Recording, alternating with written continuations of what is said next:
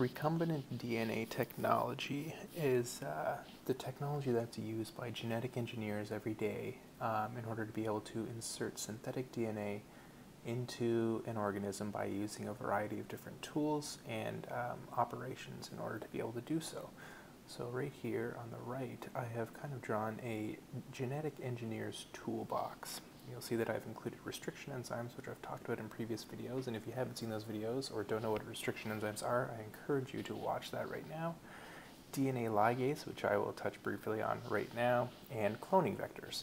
So DNA ligase, if you'll remember from my restriction enzymes video, if we look at a DNA molecule, say this is a double-stranded molecule here, and on this side we have the short and the long. So this has been cut by a restriction enzyme, and you have these sticky ends here, and you want these two things to come together and form one molecule, right?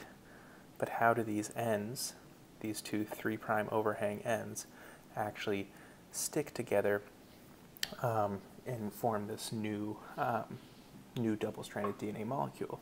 DNA ligase is an enzyme that can come in and uh, catalyze a phosphodiester bond between two, um, two ends of the 3' prime, of 3' prime sticky end, uh, 5' prime sticky end, and then you have your new single strand or double stranded um, DNA molecule here. So that is what DNA ligase does.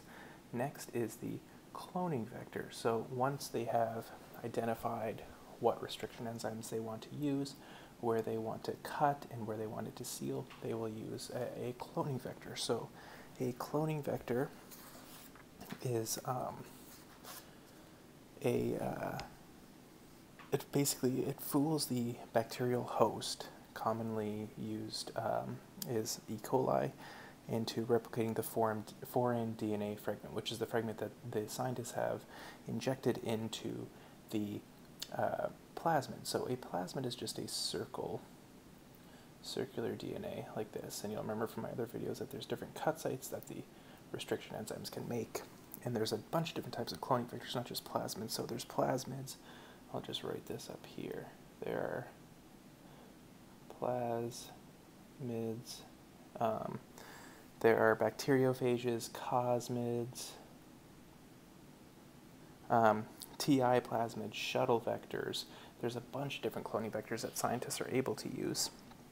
Um, a lot of these aren't usually used as cloning vectors um, like TI plasmids and P elements and DNA viruses like the S V40.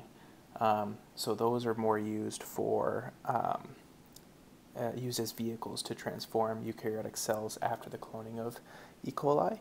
So plasmid DNA is usually, let's draw this over here. So plasmid DNA is usually about 20 to 40 copies per cell that replicate autonomously. Um, they contain only a few genes, and the host chromosome contains about 10,000 genes that are essential for growth and cell division. So plasmid cloning vectors, they occur naturally in microorganisms. So we can write that down. Um, microorganisms, um, so like bacteria and some yeast. Um, they're constructed for recombinant DNA technology. Um, an example of that would be the BR322 plasmid. Um, they are stably inherited in an extra chromosomal state, so like autonomous replication of the DNA molecule. They frequently carry genes that confer antibiotic resistance on the bacterial host, which is important. I'll talk about that in a second. Um, they possess unique restriction endonuclease recognition sequences that are employed as cloning or insertion sites for foreign DNA. And they vary in size from 1 to 200 kilobase pairs, but for cloning, plasmid vectors are pretty small and they're usually less than six kilobase pairs. Oops, let's say G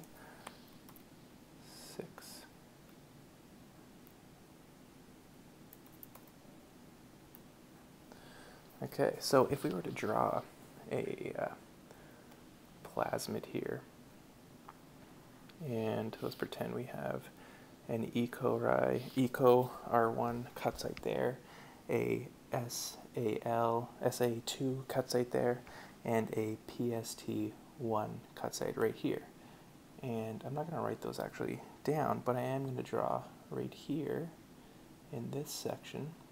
We are, uh, let's pretend, mm, think of an anti, oh, tetracycline resistance. So tetracycline resistant. And in this section right here, so not including this cut site, we are ampicillin resistant. And let's pretend that this area right here is your origin of replication. So you can see here we have a cut site that's not involved in the tetracycline or the ampicillin resistance. So if you wanted to insert a piece of foreign DNA into this plasmid and see what happens after you insert it into a bacterial host, you would try to target, let's pretend that this is the eco, or, hold on a second, eco R1 cut site. And this, let's pretend it's a um, SA2 cut site, and this one is a PST1 cut site. So if you were to insert your DNA on the PS2 or PS1, sorry, cut side right here, that is ampicillin resistant, it would no longer be ampicillin resistant. So if you were to put it in a dish and we had a bunch of um, molecules or little bacterial cells here that you injected into all of the plasmids or bacterial cells that took up the plasmids with this no longer ampicillin resistant um, gene sequence, if you put ampicillin into this, those ones would all die and the rest would live because tetracycline, uh, well, the rest sorry, all of the ampicillin resistant genes uh, would die, so you wouldn't have any cells left. And if you were to insert it in here, same thing would happen if you were to bathe the uh, cells in tetracycline.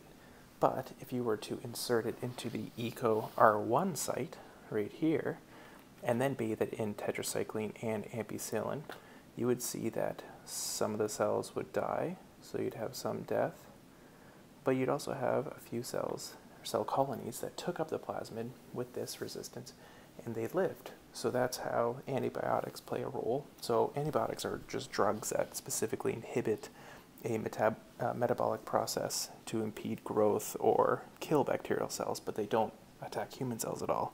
So they can be used for the um, insertion of a synthetic DNA or foreign DNA into a plasmid. So if you looked at the result of the three types of cells that follow after inserting them with uh, the plasmids, you would see that some of them have no plasmids at all, so they didn't take any plasmids up, so there's none. And then you'd have some that just resealed without inserting this new um, synthetic DNA, and then you'd have some that are recombinant DNA, which is exactly what we are talking about here, that have taken up your synthetic DNA, so your experiment was a success.